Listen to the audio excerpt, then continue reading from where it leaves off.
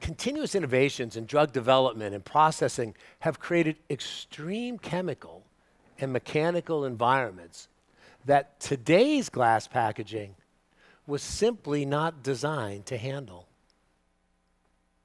This increases the likelihood of degradation, contamination, and breakage, potentially putting patients at risk. We can help solve this problem.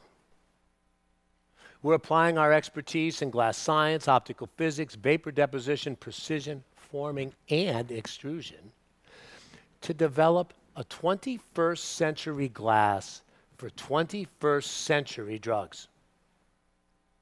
We're leveraging our industry experience to pursue joint development projects with several major pharmaceutical companies who recognize the powerful benefits of our innovation.